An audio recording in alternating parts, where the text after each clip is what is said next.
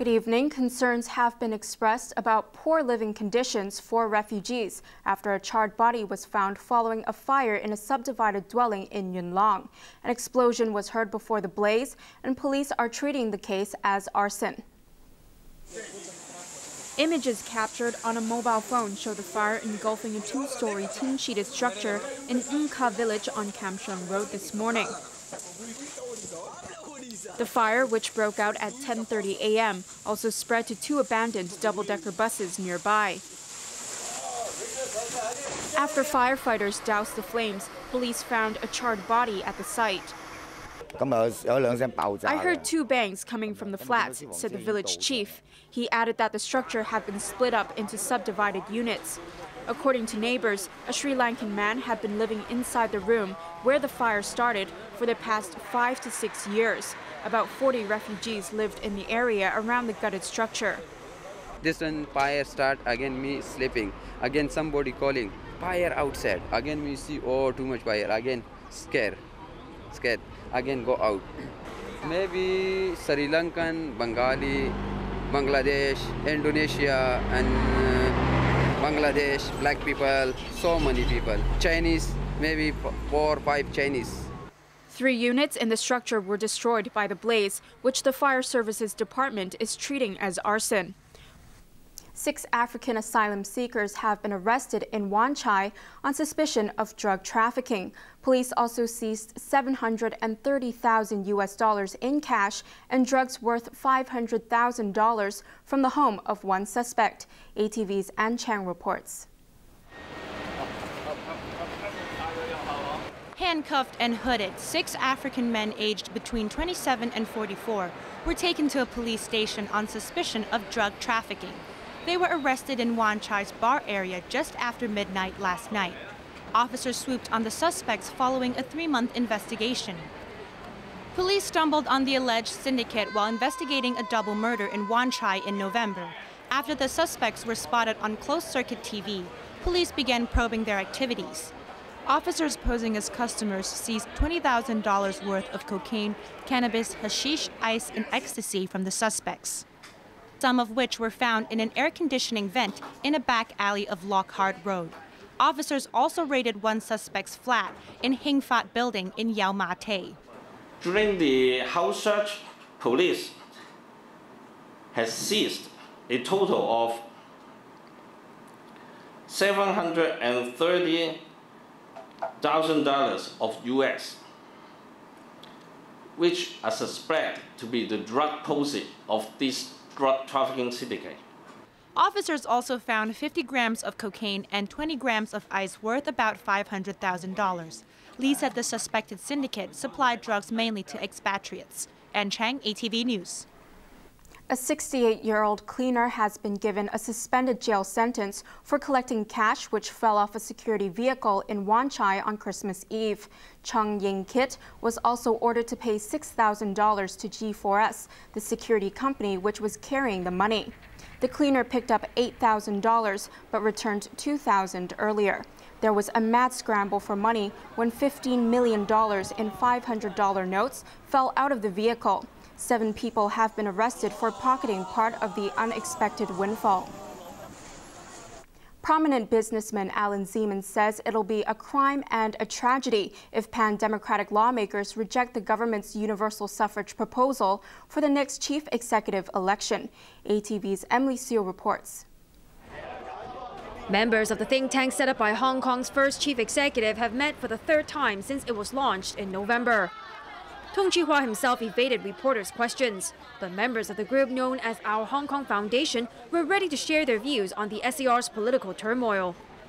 Prominent businessman Alan Zeman, pioneer of the Lan Kwai Fong Entertainment District and former head of Ocean Park, urged opposition lawmakers to abandon their decision to veto the government's political reform package.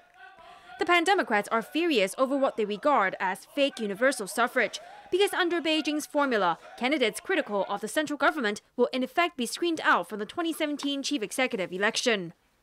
If we miss the chance, it'll be really a crime for all the people. Everyone, all of you standing here, will have a chance to vote. And I think that's really, really key so that we can really get Hong Kong unstuck. At the moment, Hong Kong is stuck and uh, we're not moving forward. Uh, we, we're moving backwards. And for the future generation, it's be a tragedy if we don't if we miss this chance. The think tank's deputy chief Simon Lee said the group's 80 consultants representing various sectors will meet regularly to come up with a list of concrete suggestions before the government tables its final reform package in LegCo this summer. The Civil Human Rights Front has been told that it has to provide 100 marshals for its pro-democracy rally on Sunday. The group, which has found only 60 marshals, had sought to overturn a police decision. But an appeal board said it has to abide by the conditions demanded by police to help maintain order. On another point, the board said instead of fully assisting police in carrying out their duties, the organizers only have to help urge the crowd to cooperate with officers. Health officials say they are prepared to deal with any surge in flu cases. There have been 134 cases of severe flu so far this year, and 74 of the patients have died. ATV's Arthur Akiola reports. Flu cases are expected to surge over the Lunar New Year, but the government says hospitals will be able to handle a sharp increase in the number of patients. Speaking on a radio show this morning, Health Undersecretary Sophia Chan said the hospital authority has a contingency plan. It will delay non-urgent procedures and minor surgeries so that more beds and manpower are available. But Chan urged people, especially those in the vulnerable category, to get flu vaccinations. So far this year, more than half of the 318 people who contracted some form of flu were primary school or kindergarten students, or those attending childcare centers. But Chan insists there isn't any need to suspend classes because the dominant strain of flu this year had affected the elderly more than the young. Arthur Akiola, ATV News. Malaysia has declared the disappearance of flight MH370 an accident, adding that all 239 people on board are presumed dead. But China, which had more than 100 nationals on the ill-fated flight, urged Malaysia to continue efforts to find the plane, which went missing almost a year ago. ATV's Joyce Wu reports. What is possibly the world's biggest aviation mystery may never be solved. On the 8th of March last year, Malaysia Airlines flight MH370 disappeared while on a flight from Kuala Lumpur to Beijing.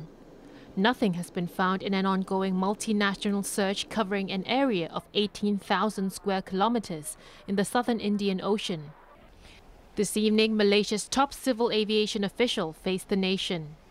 We officially declare Malaysia Airlines flight MH370 an accident and that all 239 of the passengers and crew on board MH370 are presumed to have lost their lives. Most of the passengers were Chinese, and Premier Li Keqiang urged Malaysia to compensate their relatives. Malaysia, he went on, should try all possible means to search for the plane and passengers. Also in Beijing, relatives of the victims disputed Malaysia's conclusion. Some demanded video evidence that their family members had been on MH370. Issue I have the the Malaysian crew on board the ill-fated plane include flight supervisor Patrick Gomes. His wife was angry with the way the government made the announcement today. Shouldn't we know first before they go and tell the nation? What's the point of giving us a briefing after telling the whole world? It doesn't work that way. Come on.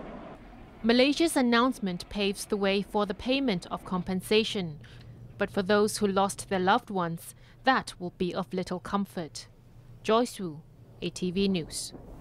Indonesian investigators say they now have a pretty clear picture of the last moments of the Air Asia plane which crashed into the sea la late last month, killing all 162 people on board. Flight QZ8501 crashed 40 minutes after taking off from the Indonesian city of Surabaya for Singapore. The head investigator said today that the co-pilot was flying the plane shortly before the tragedy. The Airbus A320 had been cruising at a stable altitude before the crash, the investigator said, contradicting earlier claims that the aircraft had climbed abruptly before stalling and plunging into the sea. The probe is now focusing on possible computer glitches.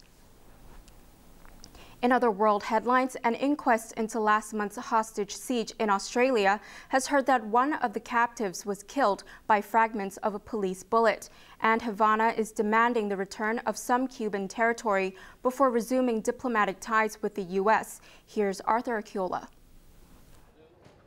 Cuban President Raul Castro says the U.S. must hand back Guantanamo Bay before the two sides can restore ties that were cut more than 50 years ago. Washington uses Guantanamo Bay to house terrorist suspects. Castro also demanded the lifting of a trade embargo imposed by the U.S. in an unsuccessful attempt to force Cuba to abandon socialism. An inquest into last month's hostage drama at a cafe in Sydney has heard that one person was killed by a police bullet. The 17 hour siege ended when police fired several shots, killing the hostage taker. Two hostages were also killed. The coroner said one of them, 38-year-old Katrina Dawson, was hit by fragments from a police bullet which ricocheted. One fragment struck a major blood vessel. She lost consciousness quickly and died shortly afterwards. The other hostage, the cafe's manager, was shot in the head at close range by the gunman, witnesses said. A worker in Taiwan was killed and two others were injured after scaffolding collapsed on the set of a film directed by Hollywood legend Martin Scorsese. The three were dismantling a Japanese-style building in Taipei when the accident occurred this morning. Filming for the historical drama Silence has been halted following the tragedy. Arthur Urquiola, ATV News. In sports, Andy Murray has reached the final of the Australian Open in Melbourne. But there was a scare for the Briton when he lost the first set to Thomas Berdych. The Czech, however, was beaten 6-love in